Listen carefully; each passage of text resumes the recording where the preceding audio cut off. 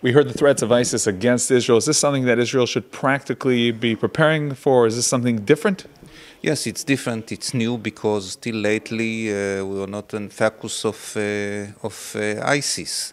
He was busy fighting with uh, the Iraqis, with the Kurds, with the Syrian rebels or the Syrian regular army. He forgot all about uh, Israel. I think that.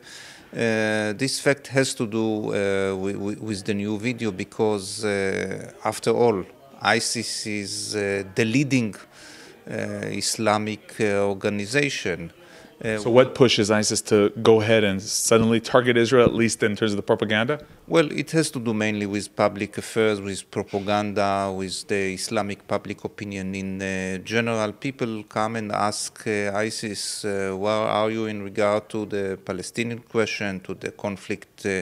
In uh, uh, in Israel between Palestinians and Israelis. Uh, people speak about the new Intifada, and we don't hear ISIS. And ISIS cannot allow himself to leave it unanswered. Which sectors, if any, of Arabs in Israel and Judea and Samaria are happy to see to hear something like this, or most most uh, parts of the Arab society fear ISIS? Well, I think that most uh, people on the individual level they see what ISIS means all over uh, the region, chaos, destruction, and also on the level of uh, the social organization and even the PA or Hamas are not happy about uh, ISIS.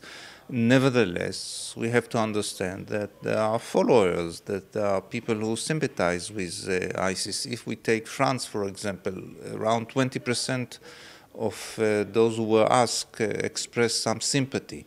You need only uh, half of them to express uh, full uh, support. You need only 10% of them to decide that they are going to do something about it, and there you are getting uh, um, terrorist uh, attacks carried out by individuals and still.